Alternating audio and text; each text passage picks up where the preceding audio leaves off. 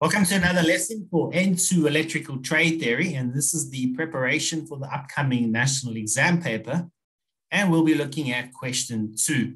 Don't forget to watch those adverts and to watch this video till the end. Now, question two is on conductors, insulators, and cables. State four factors that influence the choice of a good conductor for a particular application. Conductors should be affordable, readily available, highly conductive, mechanically strong, flexible, corrosion resistant, and able to solder well or ductile. In part two of question two, state two reasons why carbon is used to manufacture brushes. Carbon is hard wearing, can withstand high temperature, and the dust acts as a lubricant. In part three, what do the following abbreviations stand for?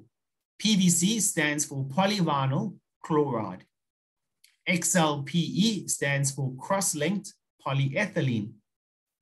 PILCSWA stands for paper insulated, lead covered, steel wired armored cable. Right, to wrap up question two, we have a three phase calculation. Determine the full load line current of a 380 volt, 60 kilowatt three phase motor that has a full load power factor of 0,8.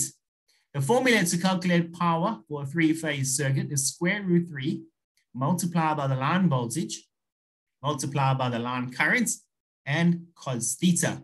So therefore, to determine the full load line current, it will be the power divided by square root 3, the line voltage, and the power factor.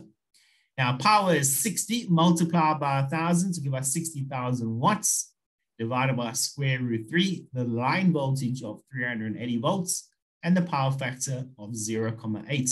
Therefore, the line current is 113.95 amps. Thanks for watching this video and stay tuned for the rest of this preparation for the upcoming exams.